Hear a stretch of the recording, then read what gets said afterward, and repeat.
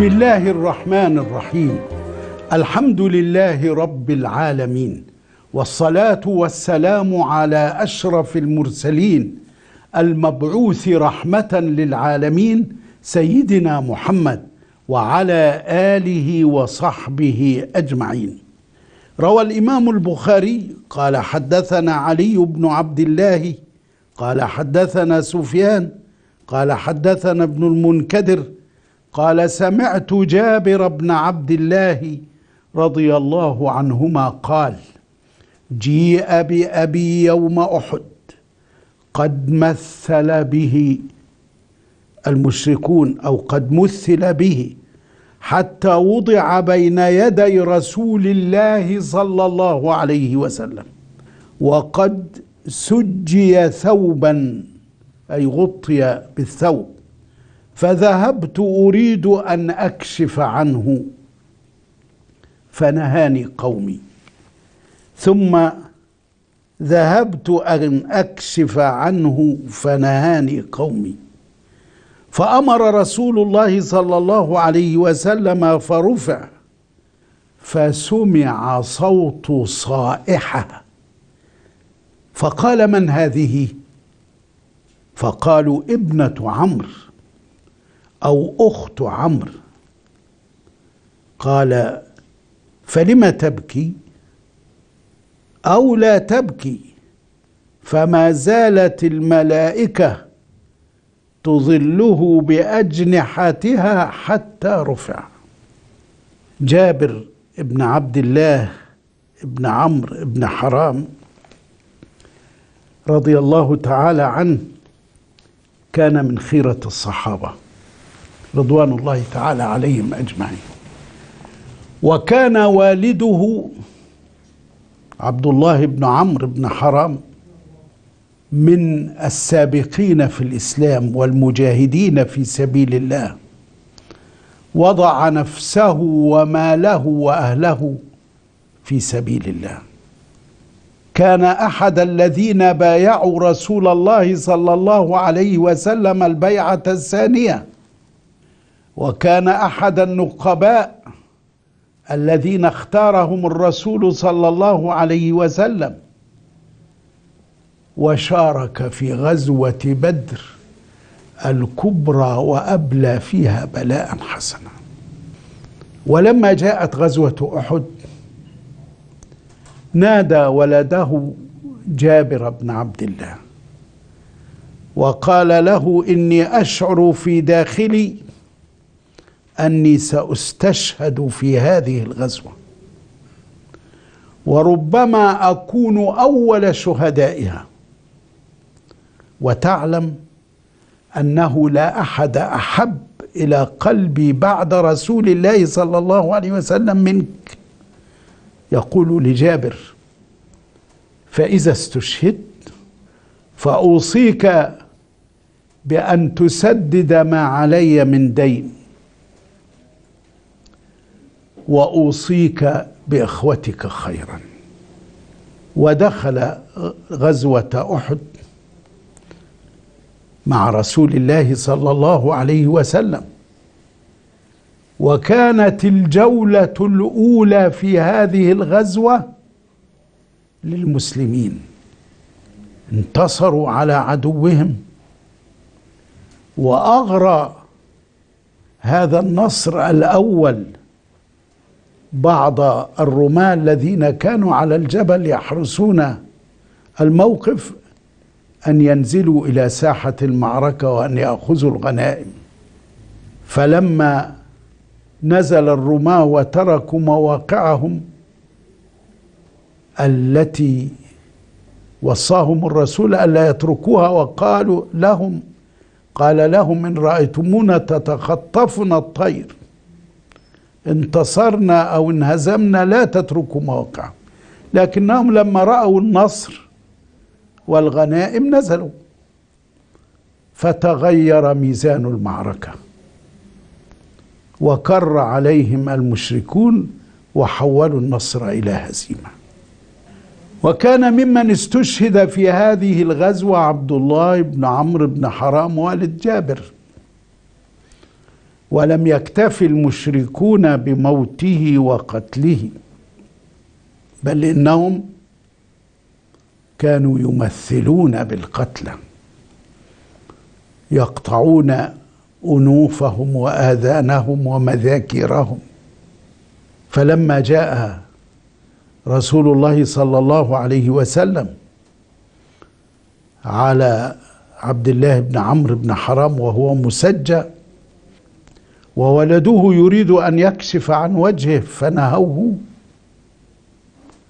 إذا بالرسول صلى الله عليه وسلم كما جاء في هذا الحديث يسمع صائحة يعني امرأة تصيح باكية من هذه أخته أو بنته.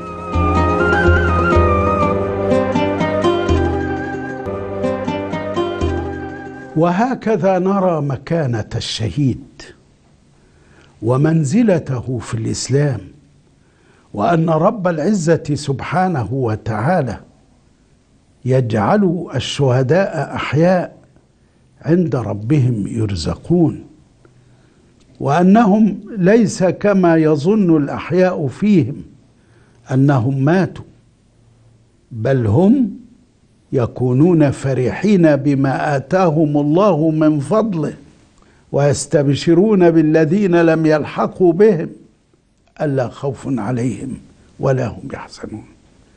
وكان لعبد الله بن عمرو بن حرام والد جابر تلك الخصوصية التي ربما يقول البعض تظلله الملائكة يكلمه الله كفاحا ولم يكلم احدا إلا من وراء حجاب. لما لم تكن هذه الخصوصية لغيره من الشهداء ولغيره من خيرة الصحابة. نقول وما أدراك؟ لعل للآخرين خصوصيات أخرى. والخصوصية يمنحها الله لمن شاء من عباده. فكما منح عبد الله ابن عمرو هذه الخصوصية قد يكون قد منح الآخرين أو أن الخصوصية كما تقول القاعدة لا تقتضي الأفضلية أو لأن والد جابر مثل به أشد تمثيل وكان من السابقين وكان من المبايعين في البيعة العقبة الثانية وكان من النقباء وكان من أهل بدر الذين قال فيهم رسول الله صلى الله عليه وسلم لعل الله اطلع على أهل بدر فقال اعملوا ما شئتم فقد غفرت لكم. ولأنه مثل به أشد تمس إلى آخر هذه الأمور التي تجعل له مثل هذه الخصوصية. ويستنبط من الحديث ما يأتي. اولا النهي عن الصياح والنوح على الميت. لأن الرسول صلى الله عليه وسلم عندما سمع صوت صائحه قال من هذه؟ قالوا ابنته ابنته أو أخته. فقال لها لا تفعلي. ما زالت الملائكة تظلله بأجنحتها. وهذا بوحي الله تعالى لرسوله صلى الله عليه وسلم. بما خصه به من أن الملائكة تظلله فأراد أن يعلمها مكانته حتى لا تحزن وحتى لا تصيح. الأمر الثاني مما يستنبط من الحديث هو فضل الشهيد ومنزلته في الإسلام. حتى لا يحزن أهل الشهيد فطبيعة البشر يحزنون للفراق. لكن عندما يعلمون أن من استشهد في جنات النعيم وأن الشهداء يكونون فرحين بما آتاهم الله من فضله لا يحزن أحد. بل كما قال أحد الحكماء يزفون الشهيد إلى المنايا كأن شهيدهم يمضي لعرسه. فللشهيد منزلته. ثالثا فضل عبد الله بن حرام والد جابر رضوان الله تعالى عليه. وما له من خصوصية حيث ظللته الملائكة وحيث كلمه الله سبحانه وتعالى كفاحا وكلم غيره من وراء حجاب.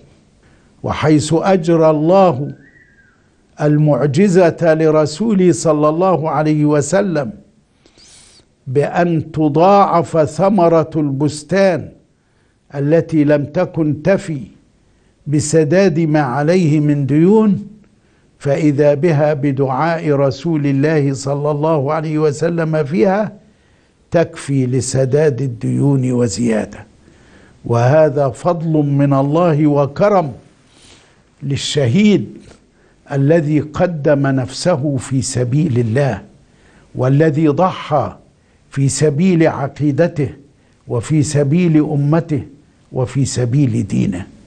وهكذا نرى ما لاصحاب رسول الله صلى الله عليه وسلم من مكانة عظيمة ومنزلة كريمة وما لشهدائهم من درجة عالية لها فضل عظيم يجعلنا نقدر الشهادة والشهداء والجهاد والمجاهدين في سبيل الله سبحانه وتعالى.